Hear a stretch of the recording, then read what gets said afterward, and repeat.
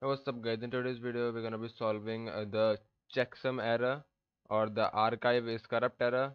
Uh, this uh, error uh, mostly comes when you are trying to install a game and uh, you have to extract a zip file. All the content in the zip file is extracted uh, except the data iso.bin file. As you can see these are the files in the zip and this file the data iso.bin is the only file that doesn't get extracted as you can see here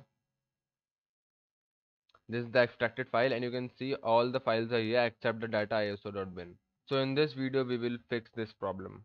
Now uh, just go to chrome and then uh, type 7zip i will give the link in the description.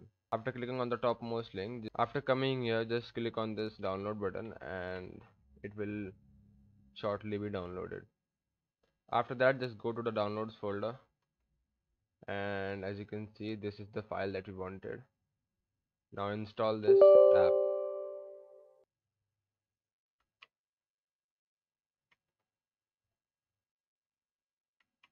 It has uh, installed quickly so we're gonna close this.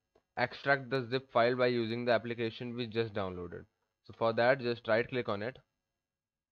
And then uh, don't extract by WinRAR just go to 7zip and then click on extract to Street Fighter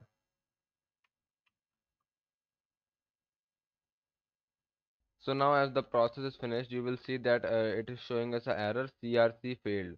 But actually uh, even after showing the error the file will actually be extracted. Let's see. So as you can see here the file data iso.bin the file that we essentially wanted to install the game is actually here. I don't know why it shows an error even though all the files are extracted but that's just how it is. This is the one that we extracted from the WinRAR so we can delete it. Thanks for watching the video. Consider smashing the like button if this video helped you